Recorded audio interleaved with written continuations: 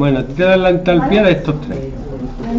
Y te dan esta entalpía porque te da la, de la combustión del metano, que es esta reacción, ¿vale?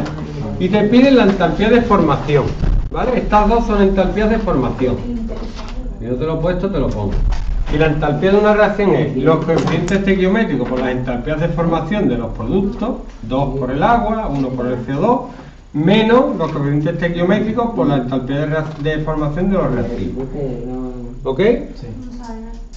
Y la de los elementos es cero, por eso esta no te la da.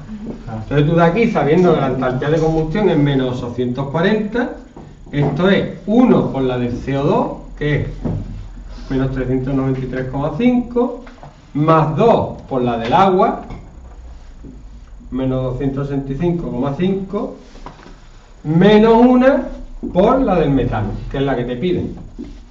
¿Ok? Vale. Esto es lo que te piden. Lo despejas.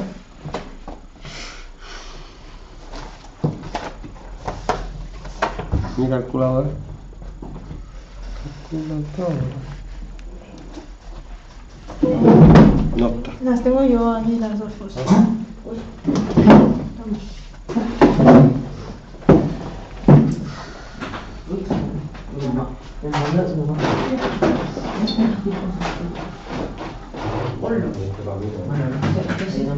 Ya, ya no sé que hay una mujer ahora. Una mujer. Una mujer. Aquí viene la información. Ahora tú esto lo aportas a ese ejercicio, a forma de texto expositivo, ¿vale? Y a mí me da. como múltiplo, Manoli.